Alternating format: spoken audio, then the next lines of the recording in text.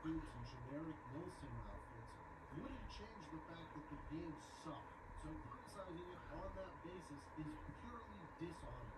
It's a grift. Same goes with any of these other games that become punching bags. Having a diverse and unique game cast can, especially in things like hero shooters, be a benefit. I don't want all my characters in the game to look the exact same. I don't want every game that comes forgettable, mediocre performance of some 20 to 30 year old guy that just somehow got something so incredible. Having multiple different genres of games be popular at the same time is a really good thing. Because when the game industry starts to get complacent and stagnant, that's when we get terrible games. Two fists, two wheels, no rules. Now, it's a little cheesy, but I already know one thing. This game has balls, but it gets better. A lone rider, Jake Conway, locked in a battle to the death against a ruthless gang of bikers called the Devil's Hand. Okay, and you got a hot chick in the back. Like, dude, I'm in. I want to play this game now. He's talking about a game with a fucking 19 meta score and a worse user score. Does this not make it clear? That's when they all kind of start to blur together. If you're going out of your way to find games that do not appeal to you personally, if your critique of a game consists entirely of surface level crap as opposed to actual faults within the game's design, production, business model, gameplay, story, you're a grifter.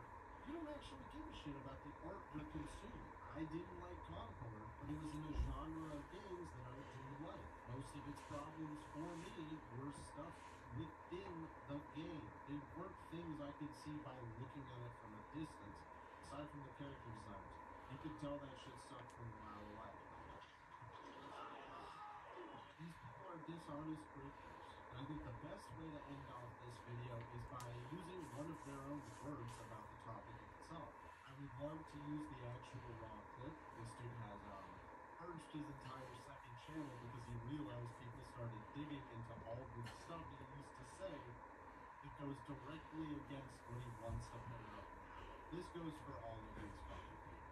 So there's this thing you see on YouTube a lot now, and it's called grifting, and you see people like Luke Stephens and Asmongold doing it a lot, and it just basically means these people have no integrity whatsoever. And it basically means you just regurgitate whatever the popular opinion to have right now is. You have no integrity, and you will just regurgitate whatever people want to hear. So, uh, yeah, don't forget to like and subscribe because holy shit, the amount of brain rotting anti-war content I had to sit through to make this video may have taken years off my life. Like, honestly, it's not even how awful this stuff is. It is awful.